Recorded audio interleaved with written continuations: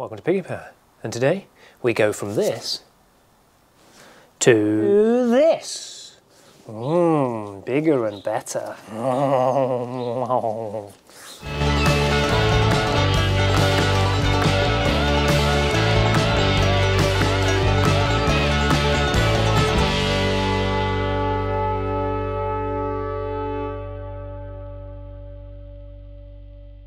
See these brakes? See these brakes here? They're not too bad. A little bit over-adjusted, a bit sticky, but they're not too bad. They're 247 mil across. They're non-vented. Um, decent enough caliper on the back. Does handbrake and the foot brake, so that's nice. Known for not having the greatest handbrake, but you know, handbrake isn't on now, and when it is, I can do handbrake turns in these with big wheels, so if you adjust it right, good cables, they're fine. But I am going to change these for a 266mm vented setup. Why are we going to do that? Well, obviously, because bigger is better, right? Now, we're going to get this disc, which is a bit scabby. I'm going to clean it up in a minute and just show you. So, obviously this is a solid disc, which is fine in its own way. It's on the back of the 306. They're not very heavy on the back end. If you lighten the back end with rust uh, or you know plexiglass and take the back of it out really light. However, these are vented, so better.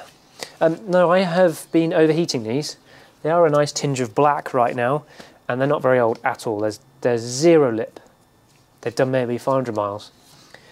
But all that 500 miles is hard work for these rear brakes because I'm, I'm doing a lot of on-the-road tuning and fettling with different things. And so we're accelerating hard, braking hard, accelerating hard, braking hard. And these turn all sorts of colours of the rainbow while the fronts are barely warm. We're also planning for the NC500. This is the Lemon. I think it's going to be part of the series of the Lemon. And you're going to pack the boot full of loads of stuff for the NC500 and going to be driving quite quite enjoyably. You know, NC500, nice tour. So you're going to be driving hard and you're going to have a boot full of you know, cameras and camping gear and toilet maybe and a tent and some food and all the other stuff. So I'm going to upgrade the rear brakes. Uh, this would also be good if you had an estate and you were towing loads or yeah, you had a family of five and you always had the boot full of stuff. The rear brakes do get really hot. Uh, they do get used despite what people say, quite a lot. Uh, with the phase 3 with the ABS system, it puts quite a lot of braking on the back. So these are bigger to start with, so that's nice. And they're also, as you can see, they're vented, quite nicely vented. These are not. Now the key to these conversion, uh, there's two little keys to this conversion really, which I'm getting now. Ooh, bits of metal chinking. One key is this, which is a wider pad carrier. This is a narrow pad carrier, and the narrow carrier doesn't allow for the bigger our disc and the bigger pads. Now the other problem is obviously that the, the pad carrier and the caliper need to sit out slightly further, so here's the other little key to it. Now if you're interested, I am making kits that will just bolt on basically. You'll get a pad carrier, a couple of bolts, a couple of these, couple of discs, and a set of pads.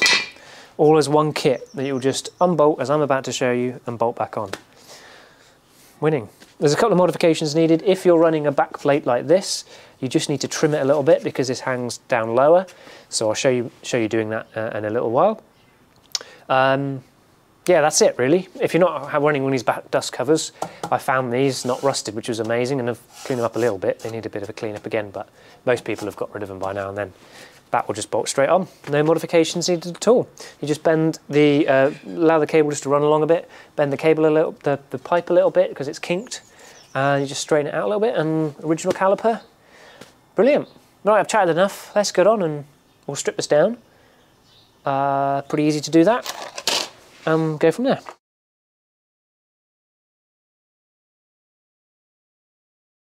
So we'll just remove the old pad caliper carrier you can do that straight off this. Oh, got my socket set. Um, 17 mils, 17 millimeter. They are tight, by the way, so that's fine.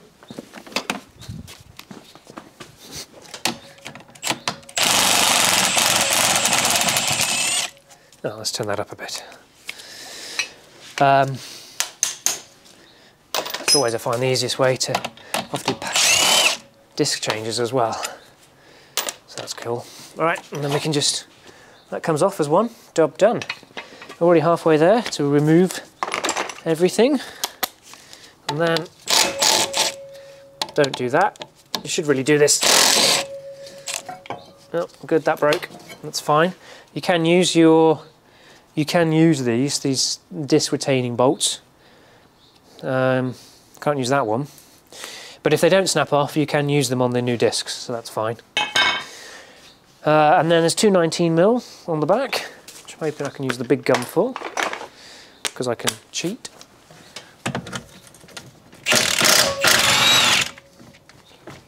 can, but exhaust gets in the way a little bit, that's fine. Probably couldn't do that with a standard exhaust box, which I don't have, which also needs sorting the NC500 because, oh my life, the drone at 70 miles an hour. Okay, and then these bolt on like that and allow it to drop down. So we're going to have to trim this bit here and then that will all bolt on, sort of.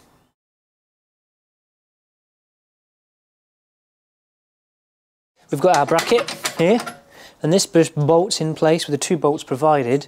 We bolt that where the caliper used to be bolted on, basically.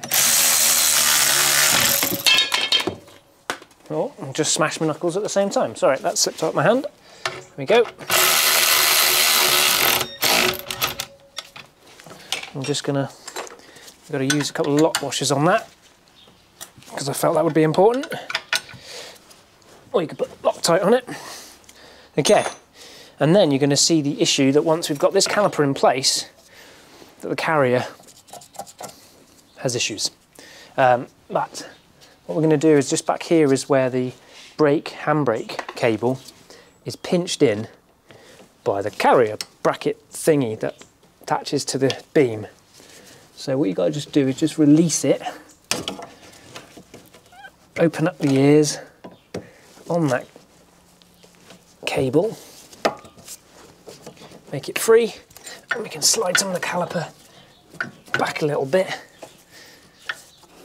and just release some of the brake line as well. And then just bolt that caliper onto the bracket. We just need a bit more handbrake cable pulled through and that will line up like a treat like a boss.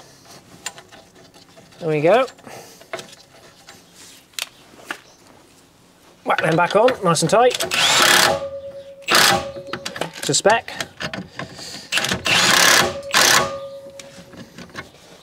you could use some something on the threads as well. I recommend as a professional you use Loctite on those threads. Sure.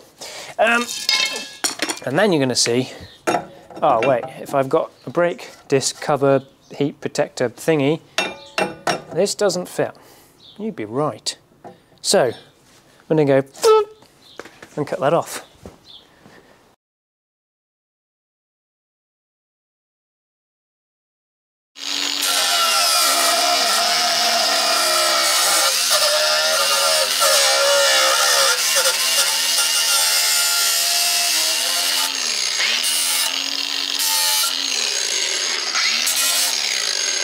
Make sure we deal with any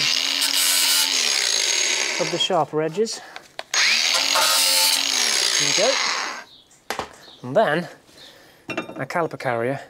Oh yes, it fits just lovely. So, next step is to fit the disc. And as you can see, the hub is a bit rubbish. So you do this with any brake disc fitting thing. You get a wire wheel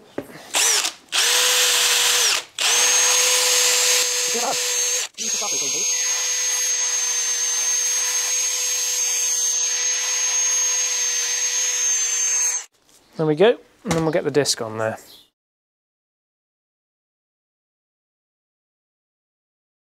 We'll use this one. Don't know what it's from, but it fits. They're basically M6 bolts, so they've just got the fluted or chamfered or whatever edge you call it to sit in the disc. And here comes Here comes the rain. Doo doo doo doo.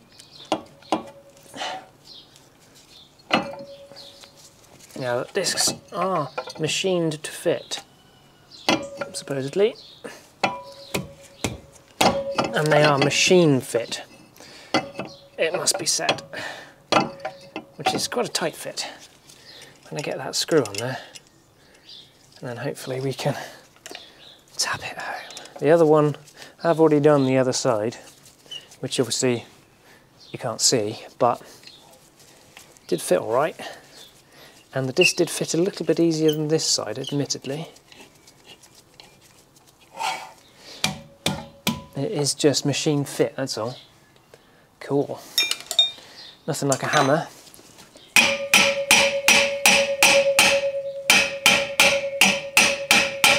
Nice. Yeah, so these discs don't just fit straight on, they are machine fit. Now the next thing to check is your heat shield, make sure it's not rubbing, which mine was just rubbing a little bit. No, it's not. Very nice. Sweet Caroline.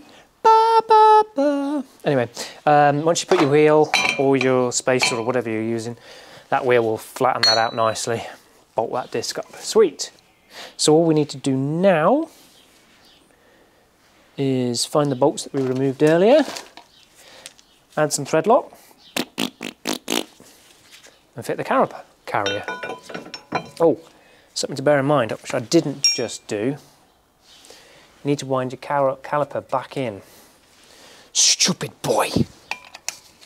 Okay, cut scene, come back in a second. So you will just need to just wind the caliper in using a caliper windy tool thing. Uh, just push hard and rotate clockwise and it'll work its way in. Doesn't hurt to put a little bit of oil or grease just behind the boot, which I've just done as you're doing this.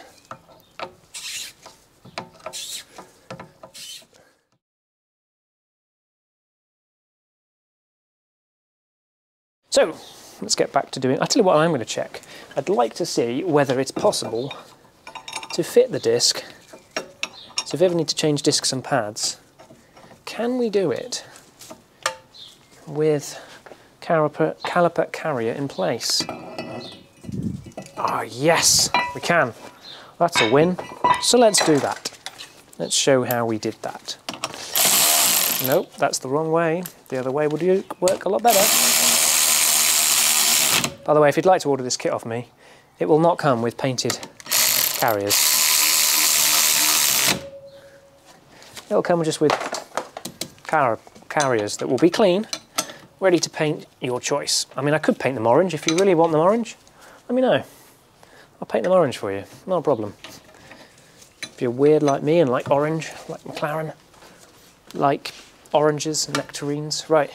Pull the caliper all the way towards you, and we'll fit the disc. Nice. A little screwy, screwy, screwy, screwy, screwy, screwy. And wind that sucker in.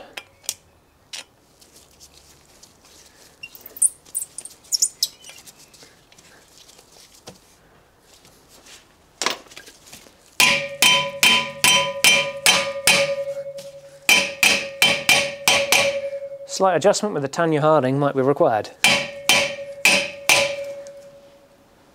Sweet. So it's already looking much cooler because, you know, big is better, isn't it? Bigger is better. Right, all we've got to do is just fit the pads. Now I do have a rear brake fitting pad guide thing, um, which is what I'm about to do. But basically just put the pads in, make sure you put the clip, and done. I'll go get them and I'll show you how to do it. Here we go, set of pads, nice and thick. These are Pagids. Um, I think the other kit I'm supplying them with have got some Comlines or something. Um, they're slightly thicker pads, which means they will also last a heck of a lot longer. The new pads on the original rear brakes of these are like half the thickness of that. Um, pros and cons? Don't know yet. Soon find out. So I'm just going to put a little dab, dab dab, of uh, grease in some suitable locations on the ears of the pads and on the backs of the pads where both the caliper carrier will be rubbing and that would be going Generally, I kind of hold themselves in usually, but apparently this set don't want to do that. That's fine. I have some springs here somewhere. There they are. So these springs are absolutely critical. Never leave them off, no matter how difficult you find it is to fit them. Okay, just always, always fit those springs. See that way around? See, and it springs and holds it in. And then get your little slidey bar. And that goes in like that, holds the first pad in. See, can't come out. Never coming out that. And the people that say, oh yeah, these are rubbish, these setups. The springs always pop out and the sliders always pop out. Rubbish. If you fitted it wrong, then they will pop out, yes. If you fit them correctly, guess what happens? They don't fall out. Weird that. Like, why would a manufacturer design a brake setup where it would fall out? Seriously. Come on, you can do it. You can do it. Sometimes a little tricky. Little needle tappy. It's hard, like holding all in at the same position. But you'll get there. You'll get there. Come on. You know you want to. You know you want to.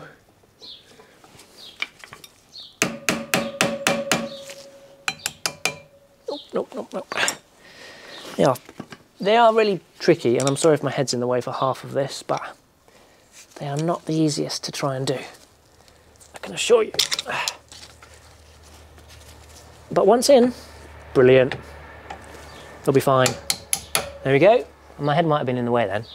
But screwdriver on the top here, on the caliper, lift it up, position it, tap the slider in, till it won't go any further, which it won't because there's a bolt there. That's my phone going off. The all important bit that people forget about, just enjoy that musical undertone, is this little clip here. See this? That must go in in the little hole at the back. And I'll tell you what, if you don't put it in, your slider might just fall out then. So head's in the way again, try and just go oop and over.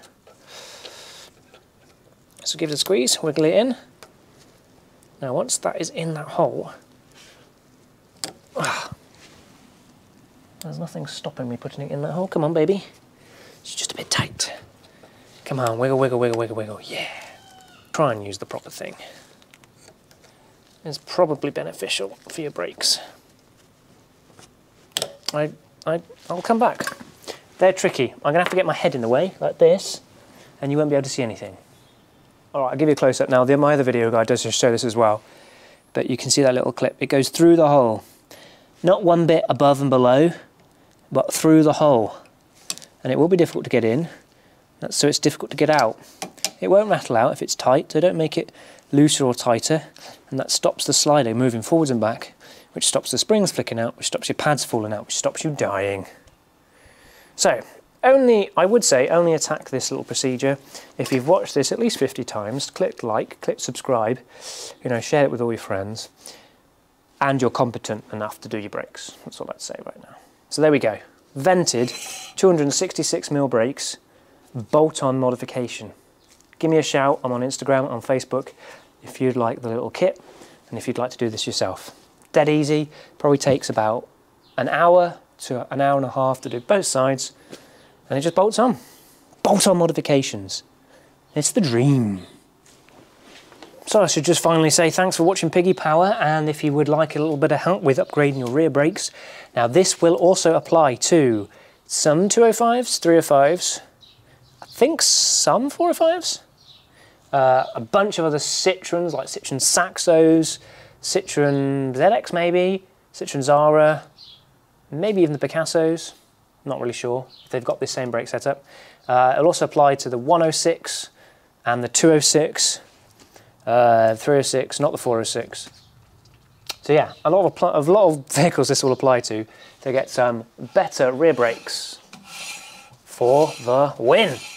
Okay, there may well be a Mark II of this bracket, but this set is kind of the, being to be the first prototypes we'll show out. Um, I'm using them. I'm going to test them for a bit before I put this video out and before I make them available as a little kit. Um, they're not going to be dirt cheap, obviously. It's not going to be like 20 quid because you're going to get new discs, new pads, bracket, new brackets, and a little custom bracket that's obviously bolts on and a pair of bolts and all the hardware that you'll need. So, yeah, whatever. It's going to be what it is, but if you would like it and you're interested, send me us a message. Facebook, Instagram, bleep bloop, say hello. Thanks for watching. Consider subscribing. Bye.